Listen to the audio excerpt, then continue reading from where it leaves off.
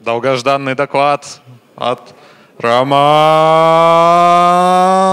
Пронский. Спасибо, спасибо. Да. Тоже из компании ИПАМ, между прочим. Да, да, да. Мы познакомились как раз сейчас перед докладами. Э, всем привет, спасибо, что пришли. Главное, дожили до второго доклада в пятницу вечером. Сегодня я буду говорить про асинхронный PHP. Работаю в EPAM, как уже сказали. В основном мой опыт связан с PHP, с JavaScript. Это и фронтенд, и бэкенд, и совсем чуть-чуть с Python. Кроме того, последние пять лет я публикую каждые две недели PHP Digest на Хабрахабре. Если вы следите за ним, спасибо вам большое. Спасибо. Если, да, если кто еще не успел почитать, обязательно почитайте. Да, мало кто знает, но у дайджеста есть вот такой инструмент, вторая ссылочка. Это поиск по всем ссылкам в дайджесте. Э, например, если вы хотите разобраться в какой-то теме, ну, скажем, асинхронный PHP, вы можете зайти, там, вбить, и вы сразу получите какие-то ссылки на э, туториалы, инструменты, и это точно будет лучше, чем первая э, страница в Гугле. Поэтому рекомендую. Я его сделал сам для себя, но думаю, не только мне он будет полезен. Э, и он open source, если вдруг вам что-то захочется доделать, э, сделать. Но он на JavaScript, а не на PHP. Э, вообще это такой 5-мегабайтный JSON, поэтому можете его просто забрать и делать с ним что хотите. Это огромный JSON с ссылками. Так, пролистнул. Ну окей, асинхронный PHP. Вообще, вот, ну, поскольку я 5 лет занимаюсь дайджестом, то ну, фактически это переваривание ссылок и новостей, то сейчас это будет такая обзорная экскурсия вот в мир асинхронного PHP. Если кто-то уже успел э, хлебнуть этого, то э, надеюсь, вы увидите что-то интересное сегодня, если, ну, или поделитесь своим опытом после доклада. Если вы еще не знакомы с асинхронным PHP, то сегодняшний доклад станет классной отправной точкой для вас. Вот, и вы точно увидите, услышите что-то полезное. Э, ну, можно очень часто услышать мнение, особенно от джаваскриптеров, вот, которые нодой занимаются, что, мол, PHP не был создан для этого. Ну, конечно, он не был создан для этого в середине 90-х, ну просто потому что не было таких задач тогда. Э, но мир меняется, мир не стоит на месте, и PHP вместе с миром развивается, особенно в последнее время очень быстро и круто, вы все это можете видеть по последним релизам. Э, и адаптируется к новым задачам, которые стоят перед PHP. Если раньше мы делали просто какие-то сайты, то сегодня что, что мы делаем? Это RESTful сервисы, которые с повышенными требованиями к скорости. Это должны быть быстрые RESTful сервисы. Это микросервисы, чат-боты, э, всевозможные интеграции, потому что очень много уже готовых API, и мы часто просто интегрируемся. Все это должно работать очень быстро. И PHP с этим может очень круто, успешно справляться. И асинхронный PHP здесь как никогда поможет. Но прежде всего давайте разберемся вообще, что такое асинхронный, что вот мы понимаем под асинхронностью. Ну, традиционно мы привыкли вот, к модели запрос-ответ. То есть у нас приходит какой-то запрос от клиента к нашему веб-серверу, затем он попадает в PHP, потом мы делаем какой-то запрос к базе данных, и вот пока идет запрос к базе данных, э, пока база данных его обрабатывает, пока э, она нам возвращает его, все это время наш скрипт ждет, и фактически наш клиент ждет. И поэтому вот такая операция, она называется блокирующая, потому что она фактически блокирует наш э, поток выполнения. Э, обычно эти операции, они связаны с вводом-выводом, ну потому что ввод-вывод, он как бы особенно медленный. И все наши операции выполняются последовательно. Поэтому такой вот, такая модель называется блокирующим I.O., то есть блокирующим вводом-выводом. Э, что можно с этим делать? Первое, что как бы приходит на ум, это вот многопоточность. Э, в PHP у нас как бы нет из коробки многопоточности, но в других, э, на других платформах есть. Что это значит? У нас наша операционная система заботится о том, что наши операции выполняются параллельно. Мы создаем поток на каждую операцию, ну или не на каждую, а имеем там пул потоков, и они выполняются параллельно. Но у такого подхода есть э, ряд проблем. Во-первых, программировать становится сложнее. Нам нужно думать о синхронизации. Есть накладные расходы на создание потоков и на переключение контекста. Кроме того, есть известная проблема там, 10 тысяч соединений. Ну, например, многопоточный сервер у нас маловероятно, что ну, просто так, просто без всяких оптимизаций выдержит там, 10 тысяч соединений с 10 тысячами потоков. Э, ну, это на самом деле спорное утверждение, скорее всего, выдержит, но все гораздо усложнится значительно. Вот. Но что с этим делать? И альтернативное решение это асинхронный подход э, или не блокирующий. Э, в этом случае у нас наши операции, которые у нас I.O., которые у нас блокирующие, они выполняются как бы параллельно. Но мы не ждем, пока они выполнятся. Как только каждая из них закончит свое выполнение, у нас есть какой-то callback или какой-то, э, ну, грубо говоря, обработчик, потому что это событийный подход, который мы можем сразу же выполнить. Но поскольку мы при этом находимся фактически в однопоточном окружении, то наши callback, то есть наш код, он выполняется последовательно. Вот вы можете это видеть. У нас вот эти кусочки CPU, они у нас последовательно выполняются. Но при этом мы не ждем I.O. То есть как только выполнится I.O., мы сразу можем выполнять наш CPU. Это очень крутой, очень масштабируемый подход. Он используется в том же самом Node.js, в Nginx и еще куча где, ну потому что он максимально масштабируем. Э, как мы могли видеть, асинхронно это не параллельный. То есть реально код у нас выполняется последовательно, наш код. Но за счет того, что мы не ждем, э, это довольно быстро работает. Что у нас есть как бы в PHP для этого? Вот этот э, Многопоточность и асинхронность, вместе мы ее объединяем словом конкурентность. Э, вот это то, что у нас есть в PHP. На самом деле э, тема асинхронности, она как бы в PHP ну, начала активно развиваться лет пять назад, но все эти инструменты доступны очень давно. Э, и первое это pthreads. Pthreads это расширение. Расширение, которое нужно для реализации многопоточности.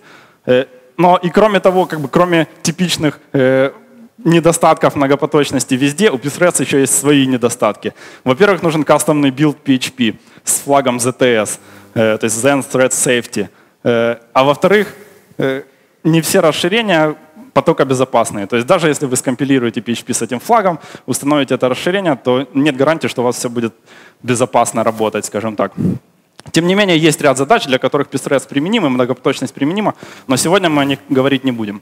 Вторая группа функции — это, скорее всего, вы все имели с ними дело, это функции для работы с процессами.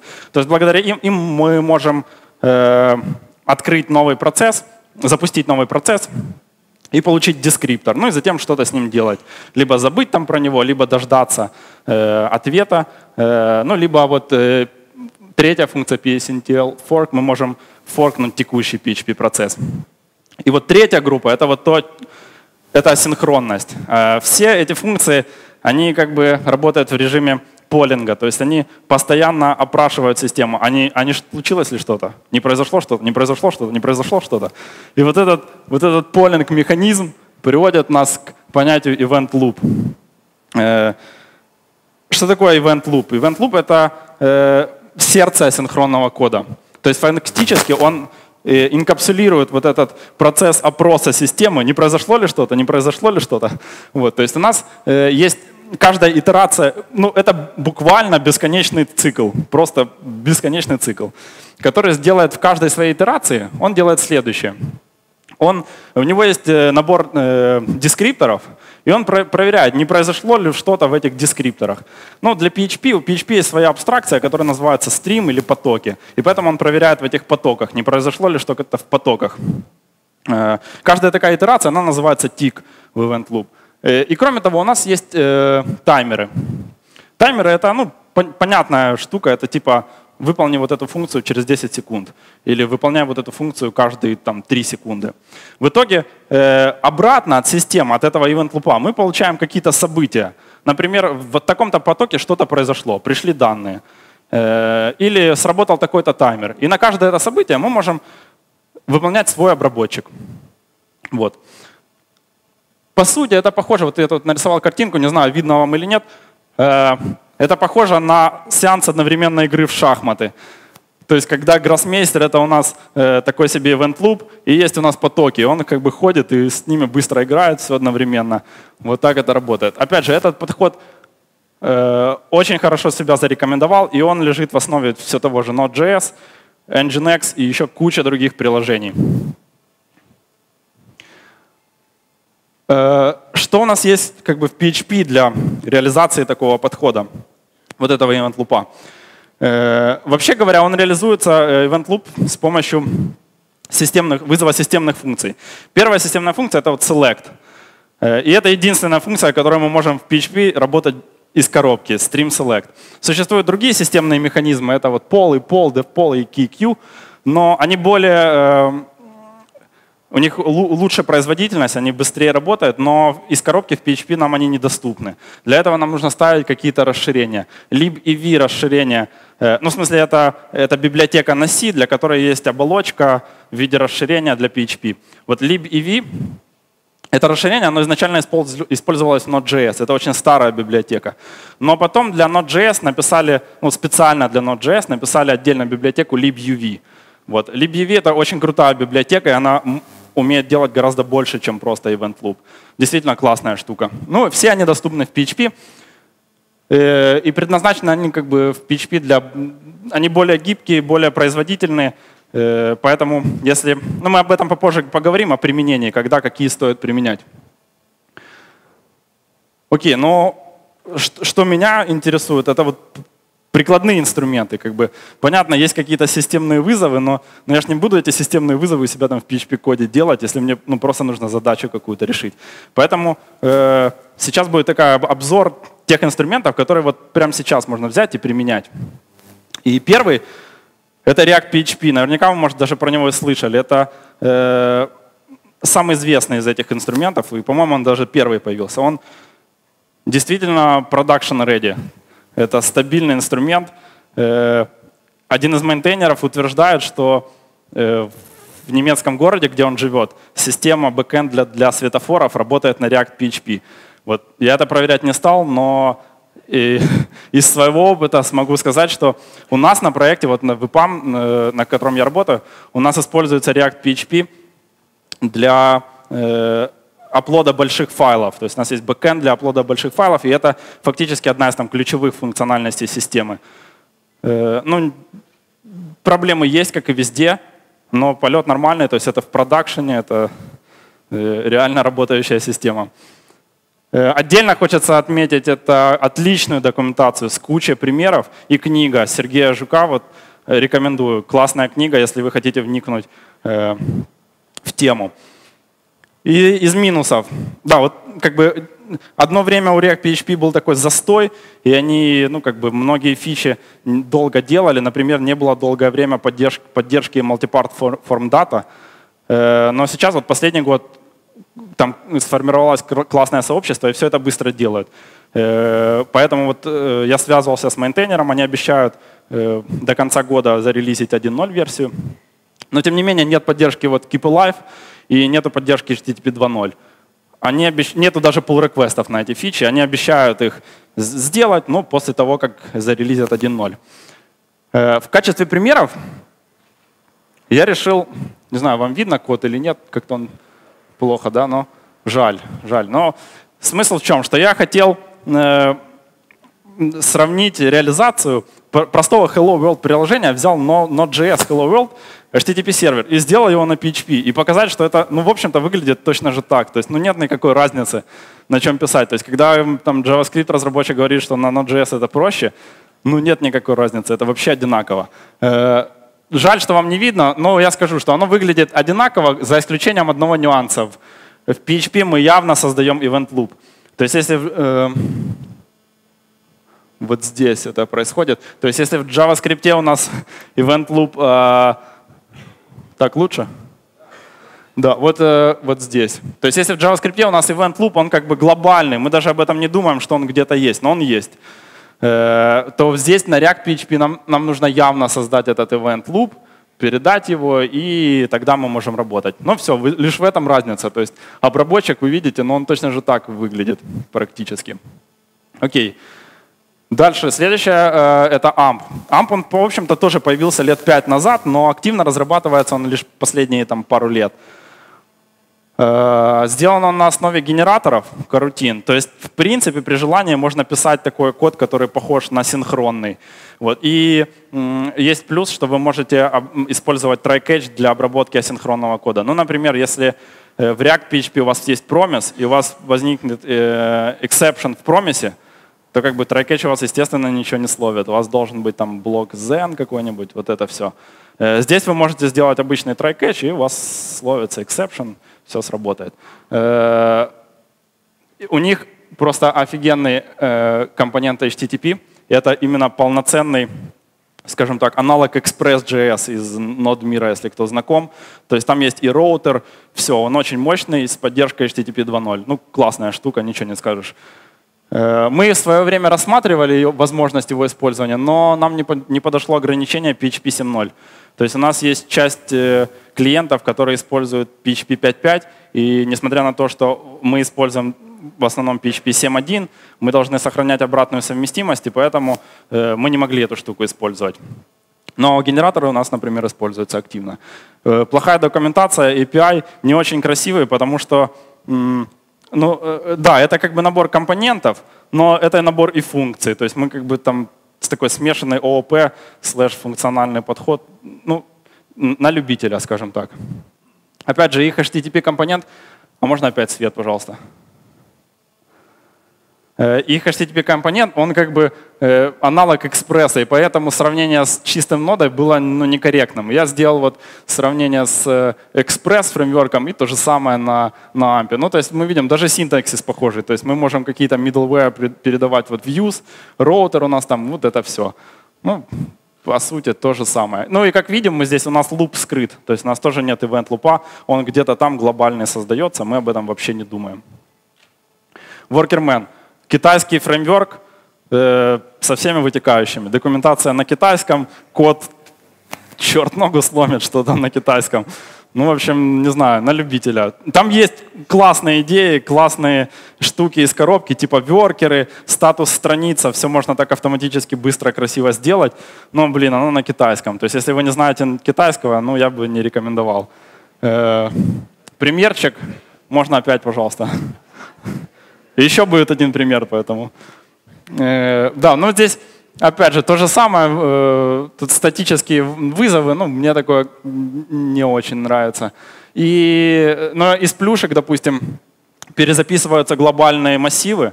То есть, в принципе, вы можете вставлять там код какой-то, который э, как бы, ну, предполагает использование этих глобальных массивов.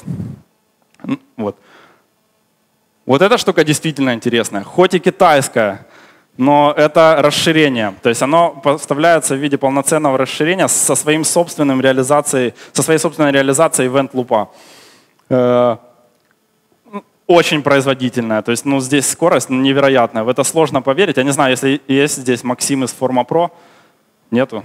Ну окей, в общем, Максим утверждает, что они запускали Symfony, полноценные Symfony приложения, Э, и им удалось достигнуть э, времени запроса там, 5 миллисекунд. Это продакшн приложение вообще без кэширования. Вот. Ну, это очень, ну, невероятные скорости, то есть в это сложно поверить, насколько оно быстрое. Э, во второй версии у них есть реализация, ой, назад, реализация карутин и каналов а Go. Это вообще такая небесная штука, то есть вы пишете асинхронный код, и он выглядит, ну, абсолютно как синхронный ну, магия, но за все нужно платить. Э, вот этот э, минус о том, что местами уродливый API, он связан с тем, что у них во всей документации, которая на китайском и на английском, к счастью. У них примеры в таком полупроцедурном стиле, но на самом деле это как бы обман. У них есть полноценные там ООП, все классы вот эти э, с, с все есть. Просто в документации почему-то они это не показывают. Вот примерчик. Ну тут вообще один в один. А, свет это выключили, да? Э, да, еще свет. Не, не надо. Ну вообще, то есть один в один. Ну здесь вот буквально один в один Node.js. Опять же, э, event loop по умолчанию от нас скрыт. Ну, классная штука. То есть э, и, и моя рекомендация следующая здесь. Если для вас критична производительность, то есть если для вас важна именно производительность, рассмотрите эту штуку. Очень рекомендую. Действительно максимально быстрая. Э, бенчмарки. Я хотел сравнить все эти реализации с Node.js. Э, но потом я подумал, что бенчмарки это зло. Нельзя доверять бенчмаркам если вы что-то выбираете, делайте бенчмарки сами. Даже не доверяйте тому, что вы видите в интернете. Сделайте маленький POC и проверьте сами, что вам подходит, какая реализация вам больше нравится, какая у вас быстрее работает. Вот. Так. Окей. Ну, сейчас небольшое, несколько как бы, примеров использования. Как можно использовать асинхронный подход. Э, ну, это не исчерпывающий список, это скорее то, э, что приходилось лично мне использовать. Это то, о чем я говорил. Вот Максим, они запускали э, э, Symfony. Демонизация приложений. То есть традиционно у нас как происходит? У нас на каждый запрос э, запускается все заново. При этом, да, окей, даже если у нас есть opcache, оно у нас не интерпретируется каждый раз, но каждый раз оно исполняется. То есть каждый раз у нас происходит bootstrap приложения, и это ну, иногда может довольно сильно просаживать производительность. А что если мы возьмем, запустим все приложение, и на запрос ну, будем просто обработчик вызывать? И это можно сделать с помощью вот PHP-PM. Если ваше приложение построено на компоненте HTTP kernel, это Symfony компонент, как, например, ну, собственно, сам Symfony и Laravel, то вы можете просто ну, там, за доли секунды написать простой JSON конфиг и запустить их в PHP-PM. Но производители, они, э, ну, вернее, авторы этой, э, этого инструмента, они говорят, что там скорость до 15 раз повышается. То есть схема работы вот приблизительно такая – у нас есть э, Nginx в роли reverse proxy. У нас React, ну как бы PHP PM, который на React PHP основан, он э, запускает э, несколько процессов по числу процессоров реальных на вашем ну, компьютере и балансирует нагрузку. Но в итоге работает все ну, супер быстро. Вот это, ой, вот это их бенчмарки официальные. Это Бенчмарк сделан в 2004 году, ой, в смысле, в 2014, прошу прощения. Э, ну, то есть это PHP 5.4, очевидно, что на седьмой это будет намного быстрее, но порядок как бы понятен. То есть вот это синее внизу это PHP FPM, вот это вверху это PHP PM, то есть React, плюс Nginx. Ну, тут разница как бы буквально в 10 раз. Очень крутая штука. Э, веб-сокеты. Веб-сокеты — это отличный дуплексный протокол, который применяется во всякого рода реал-тайм приложениях. Это игры, чат-боты, ну, везде, где нужна моментальная реакция, notification, всякого рода уведомления пользователей. Э, классическая здесь штука э, является Ratchet. Это WebSocket сервер, который реализован на React PHP, но в принципе у всех тех инструментов, которые я перечислил, у каждого есть своя реализация WebSocket сервера. Они все приблизительно одинаковые, э, но Ratchet просто такая самая известная штука, на ней больше всего примеров, больше всего документации. Э, и есть готовые интеграции Symfony Laravel. Что я бы здесь советовал, это использовать э, перед WebSocket сервером Nginx, не присоединяться напрямую, не использовать TLS, то есть TLS пусть будет у вас на, в Nginx, а сам WebSocket сервер работает без шифрования и э, сам WebSocket сервер оставлять максимально легковесным. То есть все тяжелые операции переносить в отдельные там, сервисы и как-то с ними связываться. Но об этом я еще позже скажу. Э, да, и тут возникает такой вопрос, а, вот, а нужен ли нам WebSocket вообще? Э, вот, то есть, ну, часто какая, какие задачи у нас? Вот, есть приложение, которое работает по там, принципу запрос-ответ, там плюс-минус нам все нравится, там RESTful приложение какое-то. И тут нас просят, а добавьте э, реал-тайм уведомления. То есть нам нужно на какой-то обновленный контент максимально быстро пользователю показывать, э, когда бэкэнд об этом узнает.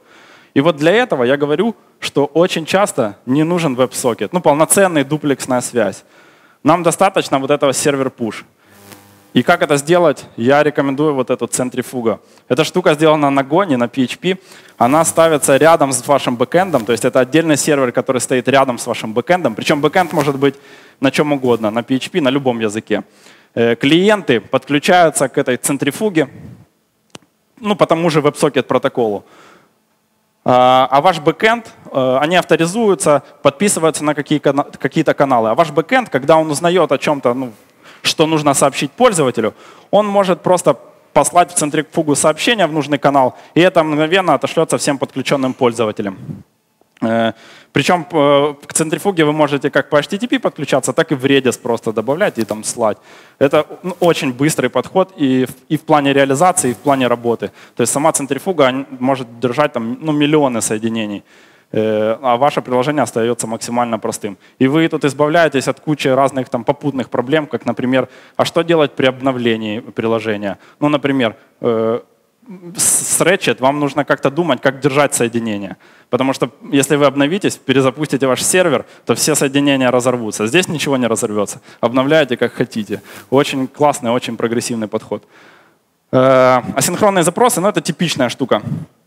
Обычные HTTP-запросы. Э, у каждого, опять же, из тех инструментов, которые я перечислил, есть своя реализация HTTP клиента. У React она так и называется HTTP клиент. Газл э, можно инициализировать этим клиентом, использовать Газл. Есть легковесный баз React, э, который поддерживает PSR7, ну, Газл, в общем-то, тоже. И есть отдельная организация на GitHub, которая делает прям готовые э, клиенты для всяких API, там Twitter, GitHub и прочее, прочее. Э, если вам нужно встроить какой-то асинхронный кусок кода, ну, например, вот те же запросы асинхронные, ваш синхронный код, ваше обычное приложение, то есть вот такая штучка, э, блок React. Что она делает? Это просто набор, там, парочка примитивов, sleep и await, благодаря которым как бы, можно вставить в обычное приложение там, асинхронный кусок. Оно там за вас все сделает, запустит луп, дождется, пока он отработает, пока все запросы там асинхронно выполнятся, ну и потом вы можете продолжать работу. Ну, маленькая э, полезность. И вдогонку еще пара ссылок. Это просто куча инструментов на асинхронном PHP для вдохновления и, возможно, для использования. Это прокси-серверы, там, SOX, HTTP прокси, э, всякие клиенты для всякого рода хранилищ и баз данных, э, чат-боты, ну, все, что хотите, обратите внимание. И теперь вот самое интересное. Проблемы, грабли, не знаю, в общем, все, что плохо с асинхронным PHP. Но, наверное, тут эти проблемы, они актуальны для любого асинхронного кода в той или иной мере. Stream Select. То, о чем я говорил. Эта штука, да, это то, что нам доступно по умолчанию в PHP, но у нее есть одна серьезная проблема. Это ограничение дескрипторов. 1024 дескриптора и все. Вот больше никак. Чтобы, чтобы побороть это ограничение, нужно перекомпилировать PHP. И это довольно нетривиальная задача, ну, вот, вот это сделать. Кроме того, есть еще ограничение системы, но его, к счастью, можно там, проще исправить. Поэтому здесь я бы советовал, э, если у вас какое-то приложение, которое требует много, множество дескрипторов, скорее всего, это, вот, допустим, WebSocket сервер или вот что-то в таком духе, то есть много клиентов подключенных, например, то используйте другой event loop. Ну, опять же, выбор, будьте аккуратны, потому что не все совместимы с ранними версиями. То есть вот libuv и libuv, они для PHP 7. Или балансируйте нагрузку, то есть запускайте множество, допустим, ну если у вас WebSocket сервер, запускайте там десяток этих WebSocket серверов и балансируйте с помощью Nginx.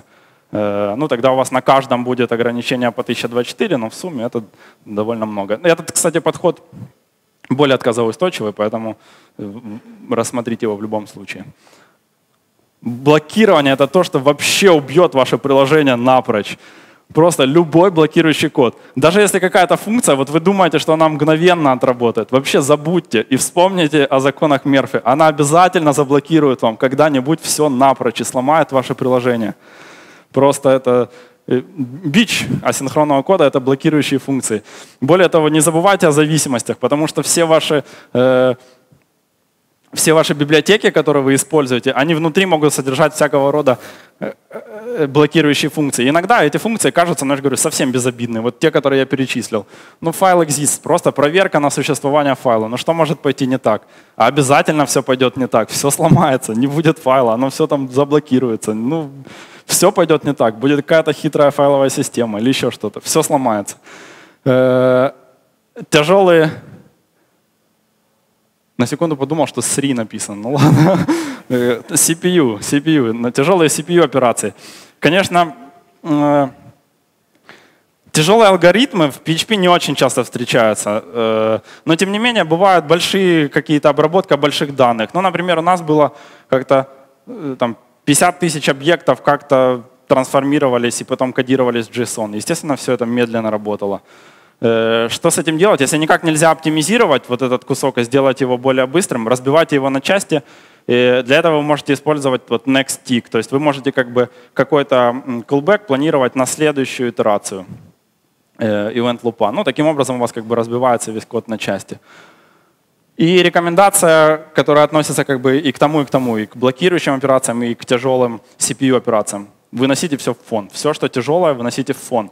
Вы можете использовать либо child процессы. У, опять же, у всех тех э, инструментов, о которых я говорил, у них есть уже примитивы, там, компоненты для реализации child процессов. Это максимально прозрачно работает. Вы просто говорите, ну вот этот callback запусти мне в child процессе. Вам возвращается промис, или там генератор, ну и все. Оно как бы все достаточно просто работает. Э, либо если что-то совсем сложное, тяжелое, используйте полноценные message queue. Э, это как бы отдельная большая тема, я не буду в нее вдаваться в подробности. Скажу лишь только, что для всех популярных брокеров есть асинхронные клиенты, ну для очередей, то есть для Redis, там, для RabbitMQ. Все, что вы можете придумать, уже все готово отладка. Вот хотел бы сказать, что все хорошо, но все плохо. Э, а, ну, то есть как, Xdebug у вас работает. Вы можете поставить брейкпоинты, вы можете все отладить, запустить пошаговый отладчик. С этим проблем нет. Но если у вас вдруг возник какой-то exception, то вы даже не надейтесь увидеть нормальный стек трейс. То есть, э, ну, то есть как, какое-то там место, где произошел э, exception, да, вы увидите, но цепочки, которая привела к этому exception, ну там будет какой-то мусор. Ну, не мусор, но как бы луп, луп, луп, промис, промис, промис, промис. Вам это не поможет э, в отладке. Ну и опять же, дай, если ваше приложение демонизировано, то оно убьет ваш весь демон, а, а не один запрос, как вы надеялись. Э, профайлинг. С профайлингом все нормально. Э, ну, как бы, да, цепочки у вас длиннее, но узкое место, если оно есть у вас, вы найдете в любом случае. А вставил я этот слайд просто, чтобы прорекламировать классный профайлер Blackfire.io. Если кто-то про него не слышал, рекомендую. У них суперский интерфейс, э, классные фичи. Мне нравится, особенно, что вот этот динамическую как бы, отображение э, профиля можно встроить в любую страницу. Еще его можно встроить вообще в CI и как бы э, автоматически профайлить весь код. Единственный минус, он платный э, и довольно сильно платный. Но можно, если у вас команда, можно купить аккаунт на команду и как бы одним аккаунтом пользоваться всей командой. Такой лайфхак. Короче, если вы не видели, рекомендую. Очень классный профайлер. Ну и бонус треком анонимные функции в PHP. Э, если коротко, они не очень подходят для частого использования. Э, можно свет еще раз? Э, нет короткого синтаксиса. Даже несмотря на то, что есть RFC, вроде как уже согласились, что нужны, вроде как все уже как бы делаем, но никак не, не согласуют синтаксис, какой должен быть, и не, надо ли автобиндить э, переменные из внешнего скопа. Вот этот внизу, это э, пример, это мой, из моего pull реквеста в React PHP из теста. То есть я писал тест, э, я реализовывал называют полуоткрытые соединения. Вот этого нет в React PHP. Э, я пытался реализовать, и это кусок теста. Ну и как видите, тут куча этих переменных use, use, use, use, use, use. Все нужно передавать, и все нужно еще передавать по ссылке, если вдруг оно меняется внутри, и вы как бы рассчитываете на это. Ну, такова жизнь. Э, но что нас ждет? Как бы о приятных штуках. В юзерленде это async interop. Это организация, которая занимается э, разработкой стандартов по асинхронному PHP. Э, они как бы хотят разработать, протестировать и затем, затем предлагать в качестве официальных PSR.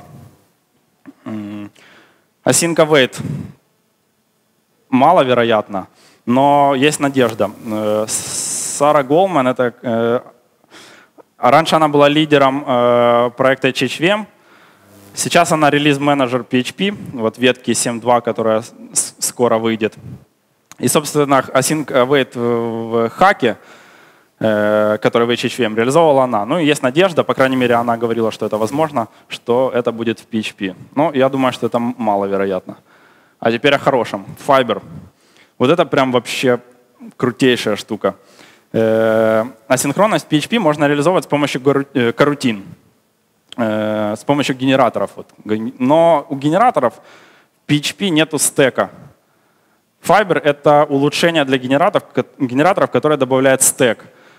По сути, это возможность любое, любое э, closure, любое замыкание э, остановить и продолжить выполнение позже. Это настолько круто, что вы себе даже представить не можете. Вы можете писать, вы сможете писать э, асинхронный код, который выглядит очень э, просто, он более лаконичный и более того, Э, его гораздо проще будет интегрировать в синхронный код. В общем, это классная штука, и здесь все хорошо. Уже есть pull request, уже есть реализация, есть организация на GitHub, в которой куча примеров, и как это использовать в, в реальном коде. Ну, поэтому в крайнем случае, если вдруг этот RFC не примут и э, он не войдет как бы в, основ, в core PHP, ну, будет расширение. Это, конечно, хуже, но тоже приятно. Так, выводы. Когда применять асинхронный PHP? Хотел бы я сказать, что применять его всегда, но нет. Э, есть э, огромный класс задач, которые можно решать асинхронностью. Часть этих задач можно решать и стоит решать на PHP. Вот такой простой вывод. Поэтому, что бы я хотел сказать? Если у вас есть какая-то э, работа с сетью, работа с файлами, которая блокирует, рассмотрите использование асинхронного PHP. Это может быть довольно круто, довольно полезно и улучшит ваше приложение.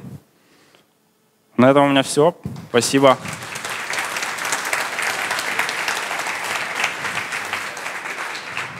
Спасибо, Роман. А, ну и поехали. Вопросики.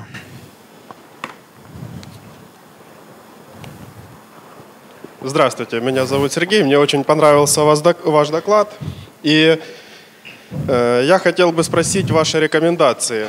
К примеру, у меня есть API приложение, написанное на Laravel, которое э, разбирает довольно-таки тяжелые бинарные файлы. И там время ответа, ну, примерно 15 секунд, что, конечно, категорически не устраивает. Я вот рассматриваю, думаю, э, ну, как асинхронно это все устроить. И я бы хотел спросить, что бы вы порекомендовали из ваших, вот, э, что вы представили, библиотек, и все ли эти библиотеки, которые вы показали, поддерживают PHP 7.1? Да, спасибо. Ну, кстати, по поводу PHP 7, это хороший вопрос. Прям за все, за все я сказать не могу, но те, что React PHP, то есть те, которыми я в основном пользовался, Э, они поддерживают PHP 7, естественно, отлично на нем работают. Э, ну, вы там показали React PHP, я запомнил, и вторая веб, ну, вот это китайская. Э, Swul, да, там тоже поддерживается. Вот, э, ну, мне показались обе эти библиотеки более интересными. Вот какую бы вы порекомендовали, ну, вот, чтобы я прямо сейчас пришел и педалил всю ночь. Да, да, точно. Ну, я бы, я бы все-таки, все-таки рекомендовал бы начать с React PHP. Почему? Я объясню. Если вы, у вас не было еще опыта с асинхронным PHP, React PHP крут тем, что хорошая документация и много примеров.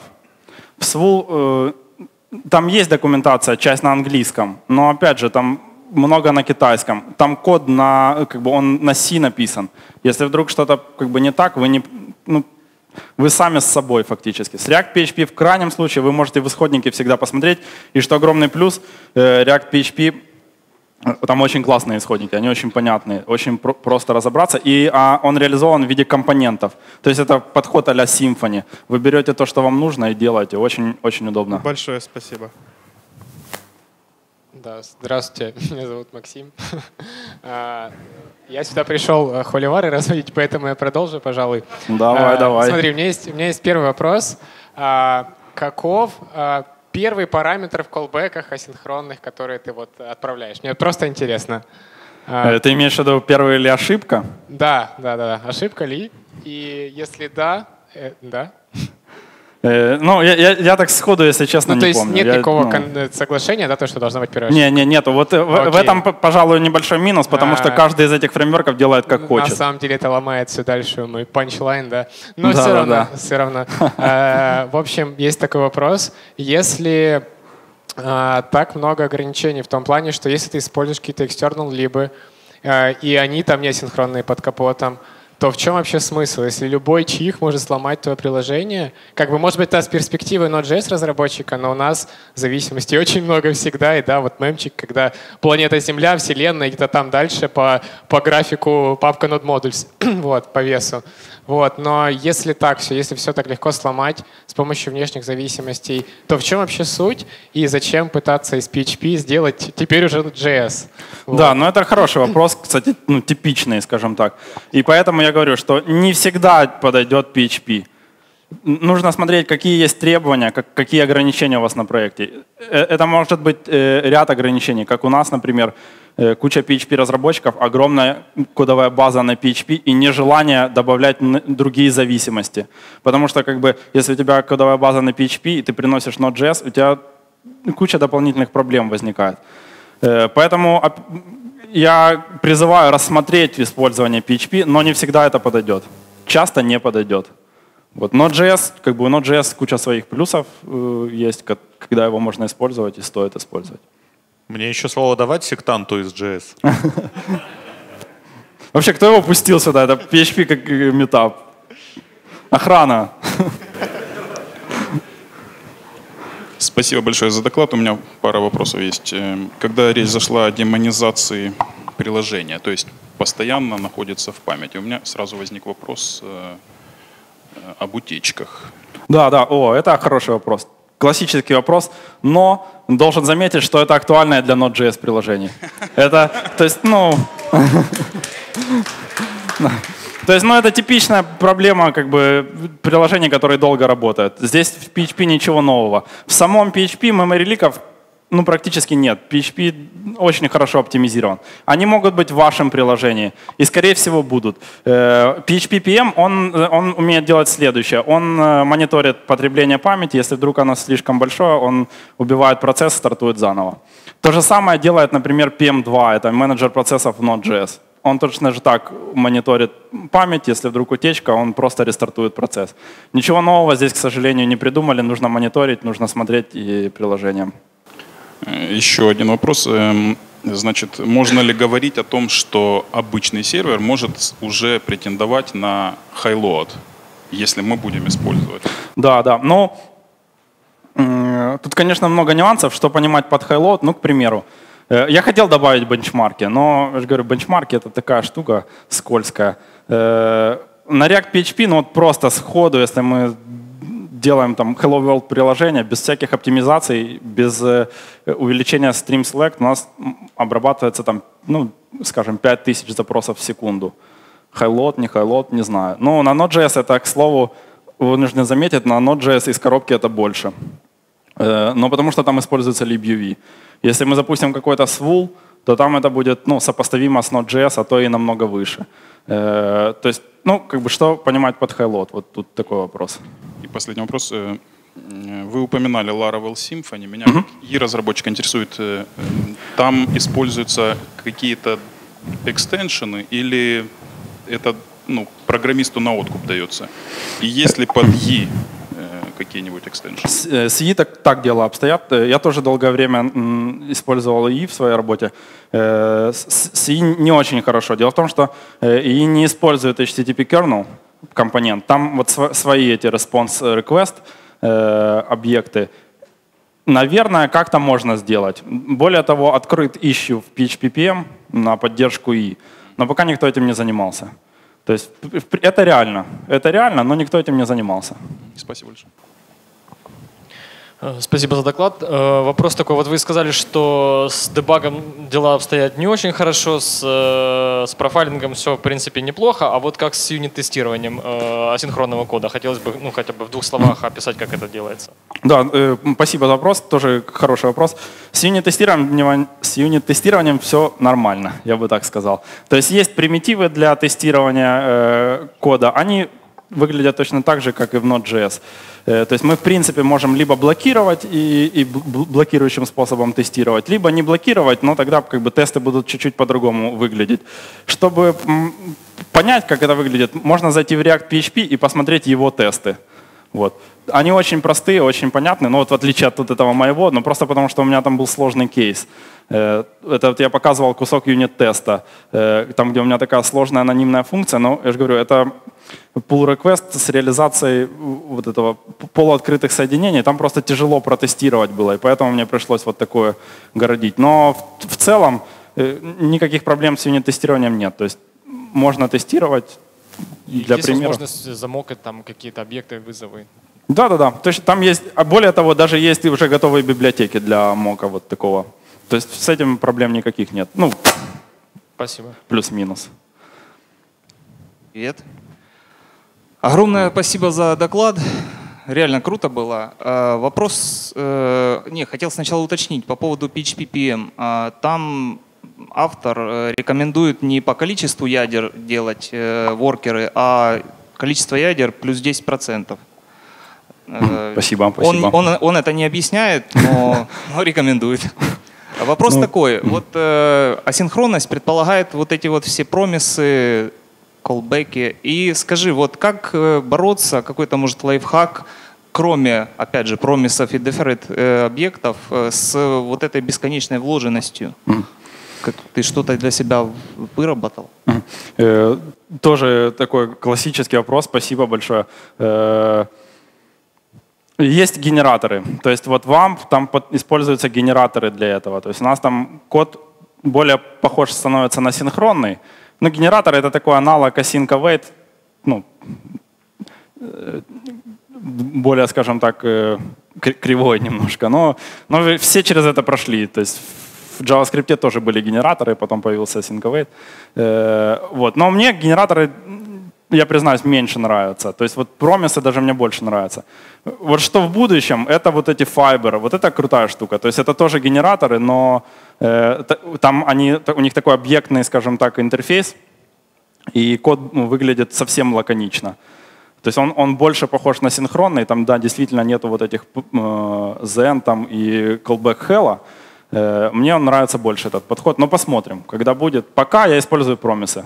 Спасибо. И второй вопрос. Вот э, ты упоминал, что в реальном проекте используешь для загрузки файлов, но упоминал также, что были проблемы. В чем конкретно проблемы? Э, Проблем, э, разные проблемы были. В общем-то, это те, которые я перечислил. Э, Блокирующие всякого рода функции. Казалось, ну вот здесь вставим блокирующую функцию, и все будет хорошо. А вот, А кстати, всё про плохо. блокирующие функции. Вот библиотеки, ну, я знаю, есть асинхронная библиотека для работы с Redis, по-моему, с Mongo, а с MySQL, кажется, нет. С Ну MySQL так целая далее. пачка. Целая пачка А, есть. есть, да? Да, да, да. Их, вот в React PHP есть, э, ну, короче, их целая пачка для MySQL. Окей, спасибо. Еще в догонку с блокирующими функциями, э, в принципе, их даже можно а, автоматически находить. Э, Для этого нужно в каждом тике э, event э, лупа э, получать таймстемп и сравнивать их между тиками. И если разница слишком большая, скорее всего, у вас была какая-то блокирующая операция. Но у такого подхода есть накладные расходы, и поэтому это в девелопменте можно использовать, э, ну, в продакшене нет. А, Спасибо за доклад. Вопрос, опять же, про блокирующие функции. А, Я тоже заинтересовался MySQL, быстренько глянул на GitHub, в AMP, допустим, там есть библиотека, которая общается с MySQL. Глянул в код, они тупо шлют э, в поток э, escape последовательности, то есть фактически реализуют MySQL протокол на низком уровне. Получается, что у нас э, вообще мы лишены возможности использовать все, что есть для PHP, то есть нам приходится писать чуть ли не с нуля все. То есть, условно говоря, если мне завтра надо будет поработать с MS SQL, мне нужно будет разбирать его в его протокол и писать на низком уровне расширения. Правильно я понимаю? То есть Ну, с, э, с блокирующими функциями все вообще плохо. Э, Ну, с с MySQL конкретно, да, там реализация протокола действительно. Э, Для большинства, для Postgres, для MySQL, там для других есть, для MS SQL не знаю, есть ли клиент. Тут сложно, конечно, сказать, что делать. Э, Если могут быть в PHP прям расширения асинхронные. Например, в PHP есть расширение, э, асинхронное расширение для Postgres. Вот, можно его использовать. Э, Но магии, к сожалению, никакой нет. То есть это вопрос везения. Условно говоря, при, на, ну так, на, вз- на вскидку приходит пример, допустим, Image Magic да, или GD, который часто используется для операций с э, изображением. Если я правильно понял, они тоже синхронные. Да, есть, конечно. Ну, то есть, э, опять же, все с нуля. Ну, э, да, я говорю, опять же, повторюсь, есть, есть задачи, которые не получится решить. И простая рекомендация – выносите в дочерний процесс. Это выглядит, то есть у вас в дочернем процессе может быть синхронный код, который блокирует все, что угодно, но у вас возвращается обычный промис. Поэтому для вас это выглядит ну, прозрачно. У вас просто стартанул, вы создаете, э, вы создаете э, callback, который выполняется в дочернем процессе. И это для вас, а, для вас это абстрагировано в виде библиотеки. Это довольно удобно. Понял, спасибо. Так, ребята, еще вопросы? Так, пер- есть. второй ряд, иду к вам.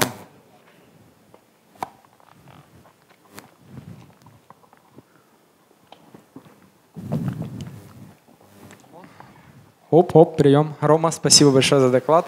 У меня вопрос следующий. А, Я не очень знаком с рантаймом PHP, вот, но мне интересно было бы а, следующий момент. А, В зависимости от того, какую там реализацию event loop мы выберем для PHP, поднимает ли это вопрос потока безопасности? То есть я не знаю, в какие конкретно моменты выполняется переключение event loop, но стоит ли мне думать о каких-то о, о- о моментах, когда он, например, может переключиться в момент выполнения какой-то неатомарной операции, что мне там надо что-то там синхронизировать и так далее? То есть вот поня- вопрос. Понятно, да.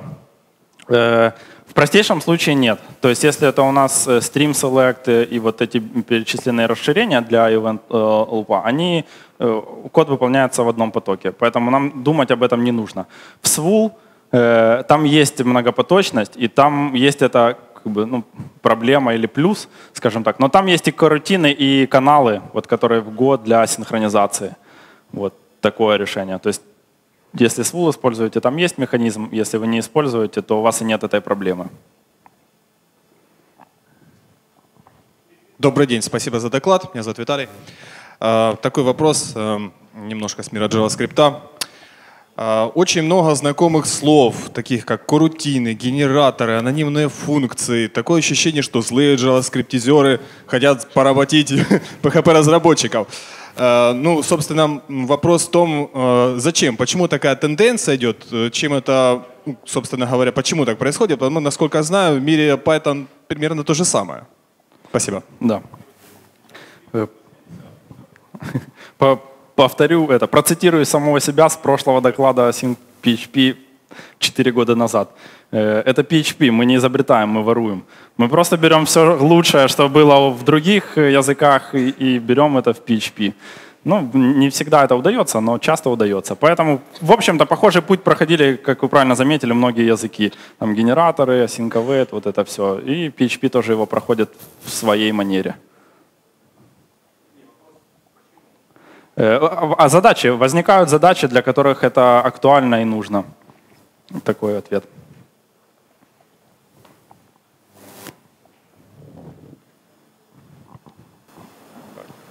Добрый вечер. Спасибо большое за доклад. Очень много интересного, всего нового узнал.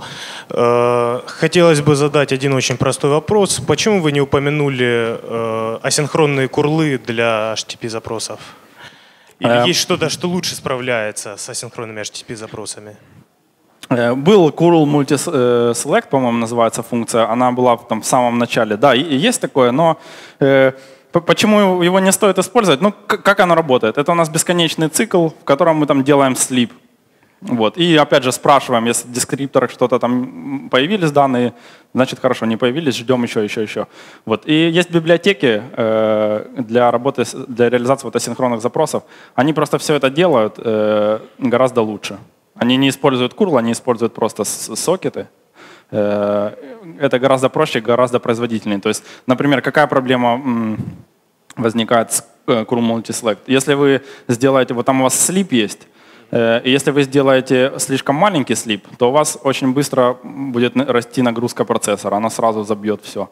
А если вы сделаете слишком большой, э, ну, значит, оно будет хуже работать. А там это все сделано классно, оно там динамически меняет этот слип в зависимости от того, есть данные или нет, и поэтому у вас как бы балансируется и нагрузка небольшая, и в то же время все быстро работает. Ну, и об этом не надо думать. Какую из библиотек вы бы лично посоветовали? Э, Мне нравится баз React. Э, Это вот он легковесный, и там есть как бы вот все, что нужно. То есть если что-то там суперсложное, там этого нет. Но все, что нужно, там есть. Вот ба- баз React она называется. Спасибо.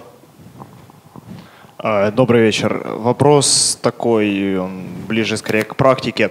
А, Есть возможность назначать какой-то callback, как я понял, для потока, то есть который будет выполняться по, тому, по моменту окончания потока. А, И как это происходит, когда я запускаю несколько потоков параллельно или там асинхронно? А, Я жду, пока выполнятся все, и потом у меня будет происходить э, ну, выполняться набор операторов, который идет после этого. А, Или же часть выполнилась, уже пошел процесс дальше, а там идет еще выполнение чего-то где-то.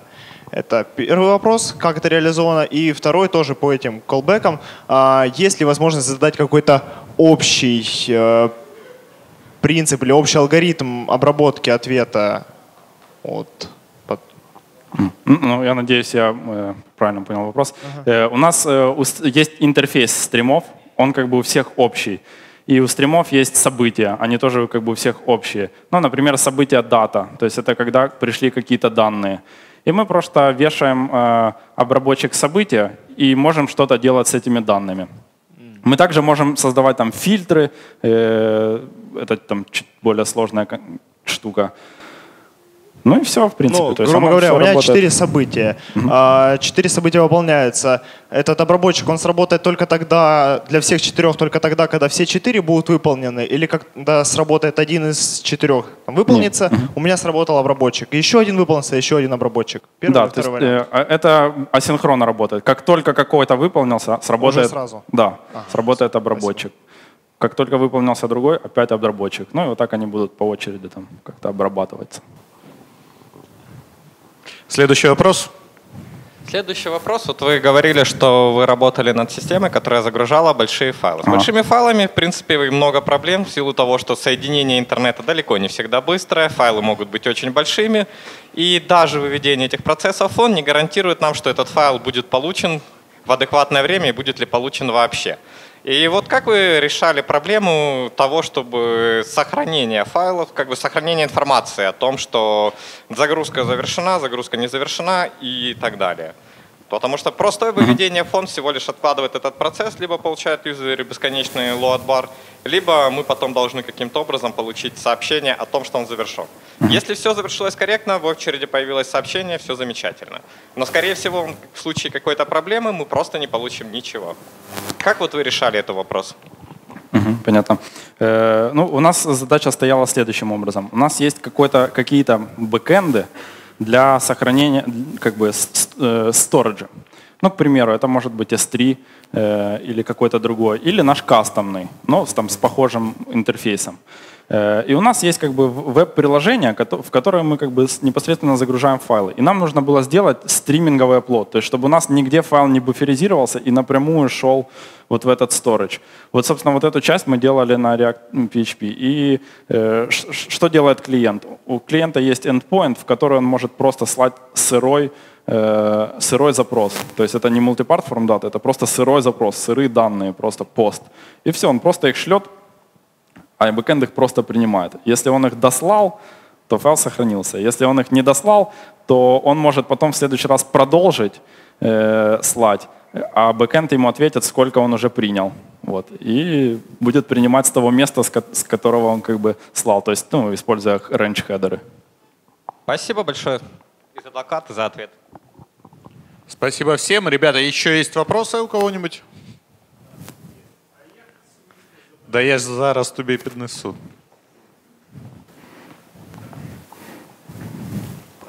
Що з приводу сумісності з опер- операційними системами? Ну, тобто, наприклад, під Windows нативно можна зібрати таку конфігурацію для синхронної роботи. Ну, тобто, там багато лінуксових бібліотек, да, тобто, залежних. Ну, там без віртуалізації, там без віртуалбоксів, докерів і так далі. Я не знаю даже, это троллинг или, или это серьезный вопрос. Э, ну, как бы, насколько я знаю, э, у винды есть аналоги вот этой select функции, и stream select на винде работает. Насколько это хорошо, не знаю. Э, Кто реально использует винду в продакшене с PHP, я не знаю. Ну, Ну, а Windows сервер для чогось нужен же. Что-что? Кажу, Windows сервер же для чогось придумали. Для .NET, для их стека. Ну окей, то есть на- можно, но, наверное, есть какие-то свои особенности. Какие именно, я, я не в курсе. Еще вопросы? Ой, ну блин.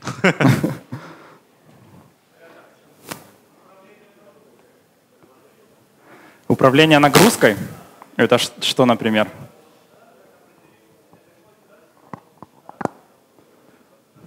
Имеется в виду, когда демонизировано у нас? Э, ну, там классическая балансировка robin, то есть оно просто запросы шлет ну, по очереди на все. То есть оно, оно умно не балансирует. Из серии вот это у нас нода больше загружена, поэтому буду слать на другие. Просто... Не, можно, но это сложнее. То есть э, из коробки там такого, насколько я знаю, нет.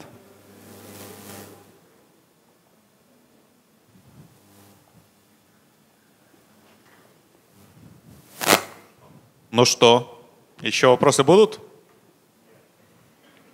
Ну хорошо. Спасибо, Роман. Э, Наш традиционный...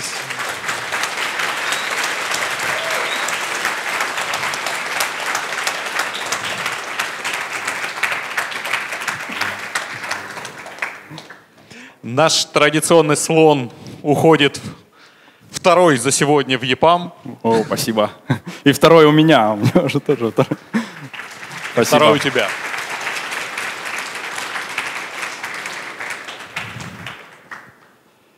Ну, Роман, какой самый лучший вопрос был? Я за юнит-тесты. Юнит-тесты — это хорошо. Где был вопрос про юнит-тесты? Come on. Конечно, был расчет про винду, наверное, очень, Не, не. очень хитрый, да?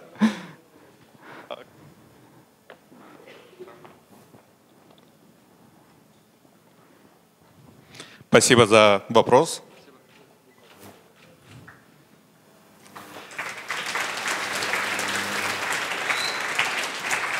Э, Ребят, кто еще не оставил э, свой отзыв в нашей анкетке, э, прошу заполнить ее. И если вы никуда не спешите, то мы можем даже разыграть пару таких же пакетиков с презентами э, буквально в течение пяти минут.